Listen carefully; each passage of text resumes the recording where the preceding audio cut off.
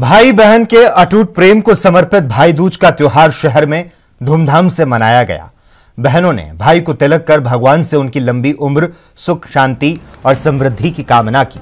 वहीं भाइयों ने भी बहन को रक्षा का वचन देते हुए उन्हें शगुन के रूप में पैसे और गिफ्ट दिए। वहीं भाई दूज के इस पर्व पर बाजारों में जहाँ काफ़ी रौनक थी, वहीं सड़कों पर पूरे दिन जाम लगा रहा।